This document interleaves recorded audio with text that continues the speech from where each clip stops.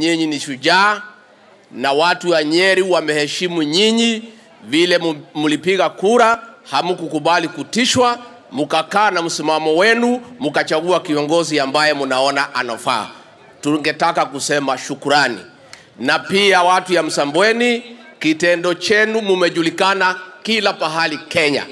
Watu ya kwetu huko wanauliza Msambweni ni wapi, kila mtu akitaka kujua Msambweni huko kwetu katika Mount Kenya, sisi zote tuko nyuma ya naibu wa rais William Ruto. Nyinyi mko hapo? Nionyesheni kwa mkono. Niliona hapo zamani mlikuwa na hii mtu ya kitendawili.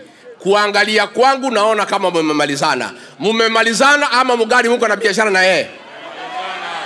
Mmemalizana na mtu ya kitendawili? Sisi tulimalizana na yeye kitambo, tulijua tabia yake, na nyinyi pia mumeona yeye, mumemjua, na kwa hivyo tumesema asanti sana.